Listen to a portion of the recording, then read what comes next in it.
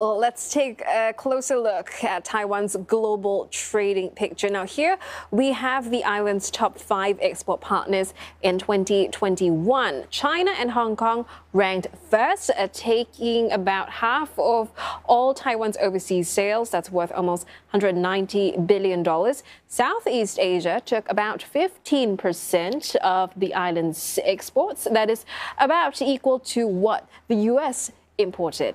But the trend in exports has recently favored the United States. Now, Taiwan's exports to China grew by 71% between 2016 to 2021. Electronic parts made up more than half of goods entering Asia's biggest economy. But on the other hand, Exports to the U.S. nearly doubled, growing by 97%. Top U.S. purchases of Taiwanese goods include electrical machinery, vehicles, plastics, as well as iron and steel products. Well, as a source of Taiwan's imports, mainland China and Hong Kong rank first with a 22% share, and the U.S. only had a 10% share, falling behind Japan, Europe, and Southeast Asia. And over the last five years, Taiwan's imports from China have surged about 87%, as compared to 44% from the U.S. Well, many Taiwan based companies in high tech industries also operate their factories in the mainland. And the world's biggest chip maker, Taiwan Semiconductor Manufacturing, or TSMC, is one of them. However, just 10% of TSMC's revenue last year came from the mainland, while more than half comes from the US. And some analysts feel that this may be an indicator that when it comes to semiconductors, China may be falling behind. For a deeper look at these trade talks between the United States and Taiwan, we're joined now by Ross Feingold. He's a director of business development at SafePro Group. That's a consultancy that advises clients on security issues around the world. Mr. Feingold, thank you for joining us. Now, the fact that these talks are going to happen, that's not surprising, but the United States knows that there is a risk inherent uh, in pursuing the talks. They would have calculated the value of that risk as well. What to you is the value of this risk for the United States for what China is just going to see as more provocation? These trade talks uh, between Taiwan and the United States uh, have actually gone on for literally decades. Uh, the, the US and Taiwan have a number of bilateral platforms and dialogues under different names. Sometimes they get renamed and, and, and announced as if there's something new, but the reality is that these talks have gone on for a while. And uh, there, as your report indicated, there's significant bilateral trade between Taiwan and the United States. It's not a surprise that the two sides would look to remove some of the current trade barriers that prevent additional trade growth. And it's not intended to be a free trade agreement. So it's really making changes around the margins more so than uh, the, the, the profile that a free trade agreement would have. So China is going to be upset, but the reality is even China engages with Taiwan on trade issues, whether through uh, bilateral mechanisms or through multilateral mechanisms such as uh, the, the WTO. Uh, what, what's interesting here is that Taiwan was not invited to join the Indo Pacific Economic Framework, the IPEF, with the first round of countries. There was a lot of disappointment here in Taiwan because of that decision by the United States.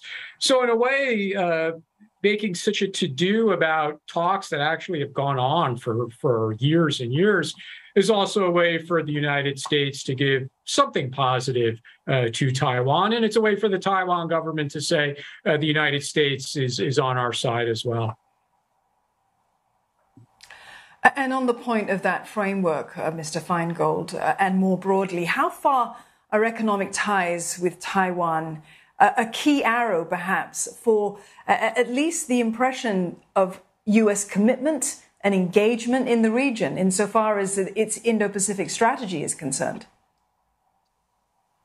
That's a great question because it really depends whether these talks have as their ultimate goal, again, something that's more in the nature of, of public relations and things that would fall under that uh, uh, category would be if uh, th- there's a little bit of growth as a result of these talks. And for example, uh, U.S. agriculture exports to Taiwan if Taiwan were, were to adjust some of its uh, inbound uh, control mechanisms that have often frustrated uh, U.S. ag uh, uh exporters. Uh, on the other hand, if the outcome of, of these talks would be for a company such as TSMC or other companies in the Taiwan tech supply chain to go beyond what's already been announced. Uh, and I'm referring to TSMC's uh, construction of a fab in, in, the US state of Arizona.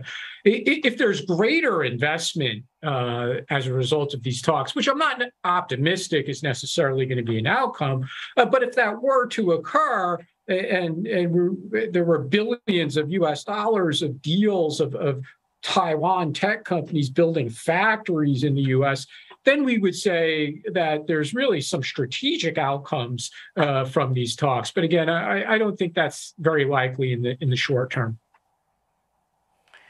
And, and whatever the outcome of these trade talks, uh, Mr. Feingold, let's look at the more immediate impact. Uh, Taiwan and China, they already have very deep, very close uh, trade relations. Do you expect to see retaliation from Beijing at all, trade wise, against Taiwan? And, and what kind of action might they take?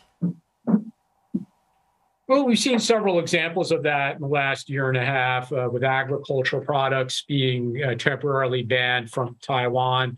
Uh, other types of exports in traditional industry or tech industry products also, or China banning certain products from being exported from China to Taiwan. One example recently was was natural sand. So uh, th- there's definitely some tools like that that China will use. H- how far they would go with that uh, is unknown, and they have to be careful that they don't ban any products uh, that that are actually key to their own economy. So again, right now it's it's more around the edges, but they definitely have that tool, and sometimes the numbers might look small because the the export value might be a few million or tens of millions of U.S. dollars. But but of course, the, it does have an effect on the the people here in Taiwan who actually grow or manufacture those products.